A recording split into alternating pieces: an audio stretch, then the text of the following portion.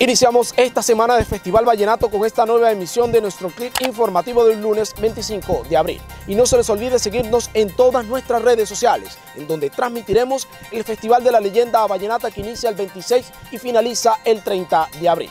Síganos. De dos disparos en la cabeza asesinaron a una mujer al interior de una vivienda ubicada en el barrio Las Flores del municipio de Codazzi. Se trata de Lisianet Escobar Díaz, de 29 años, quien deja huérfanos a sus dos hijos menores de edad. Las autoridades avanzan en las investigaciones para esclarecer los móviles y causas de este crimen que tiene consternados a los habitantes de esta población. En un verdadero caos se convirtió un evento gratuito organizado para niños en un centro comercial de la ciudad de Valledupar.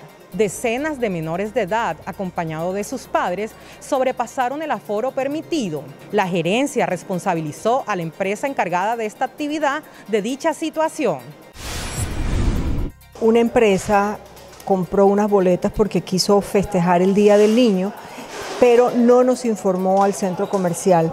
Para cualquier tipo de evento masivo deben informarnos a nosotros para poder soportar logísticamente todo el, todo el evento.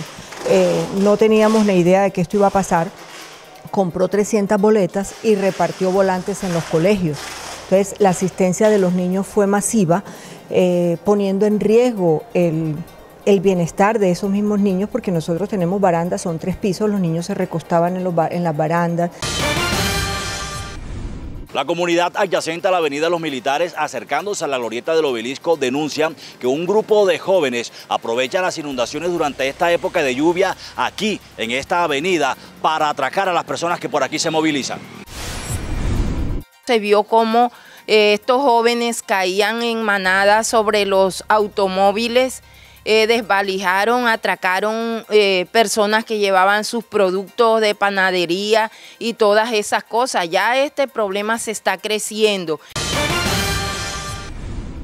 En los diferentes eventos, tanto públicos como privados, del Festival de la Leyenda Vallenata en su versión 55, se exigirá el carnet de vacunación contra el COVID-19. Asimismo, la alcaldía optó por restringir la circulación de motocicletas desde las 7 de la noche hasta las 6 de la mañana del día siguiente, los días que comprenden desde el 26 hasta el 30 de abril. Cuando se movilizaba a bordo de una motocicleta fue asesinado a balas un cobra diario identificado como Franklin Manuel de Arco Velázquez, de 38 años. El hecho se registró en el barrio Santo Domingo de Valledupar. De acuerdo al reporte de las autoridades, la víctima presentaba antecedentes judiciales por diferentes delitos y hace dos meses había salido de la cárcel. En la Jagua de Ibirico fue inaugurada una de las mejores plantas de beneficio animal a nivel nacional. Esta importante planta está ubicada en la vereda La Libertad, a 500 metros de la carretera principal. Hoy nos encontramos aquí en esta magnífica obra, la planta de beneficio animal nacional tipo exportación, tanto para bovinos y bufalinos como para porcinos. Organismos de socorro adelantan la búsqueda de una persona desaparecida en el río Magdalena, víctima de un accidente fluvial ocurrido en el municipio de La Gloria Cesar. En la embarcación se desplazaban 12 personas, de las cuales 11 ya fueron rescatadas.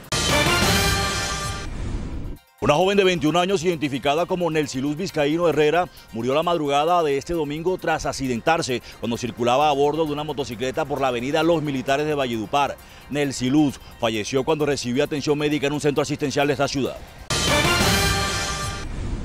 Con el eslogan Festival de la Seguridad Vial, la Policía Nacional hará acompañamiento para garantizar la seguridad de propios y visitantes durante la edición número 55 del Festival de la Leyenda Vallenata. Estamos haciendo unas actividades en conjunto con la Secretaría Local de Movilidad, patrullas combinadas, eh, agentes de tránsito, agentes de, eh, de tránsito policía y obviamente estamos haciendo unas actividades en los distintos corredores eh, viales que comunica el departamento.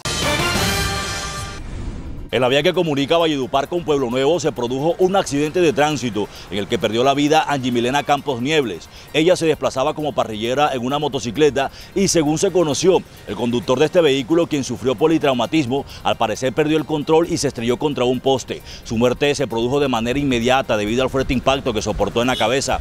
Angie tenía 26 años y se dirigía al municipio del Paso de donde era oriunda. El cantante Silvestre Dangón sigue sorprendiendo a su fanaticada con su faceta de empresario. En los próximos días abrirá un restaurante ubicado en el centro comercial Unicentro de Valledupar. Está en construcción, no tengo eh, fecha exacta de cuándo podrá ser la apertura porque está en construcción en estos momentos, pero promete ser un restaurante muy bueno aquí en la ciudad de Valledupar. La verdad que es una faceta excelente que está mostrando Silvestre de empresario y le agradecemos muchísimo que haya escogido el centro comercial como epicentro de su, de su, de su nueva faceta de empresario. La angustia se apoderó de la familia Calderón Cuji en el barrio Divino Niño de Valledupar. La joven Angélica Milena, de 16 años, se encuentra desaparecida desde el pasado sábado. Por ello, su abuela clama por información que permita saber de ella. Llegar la información al 314-642-3074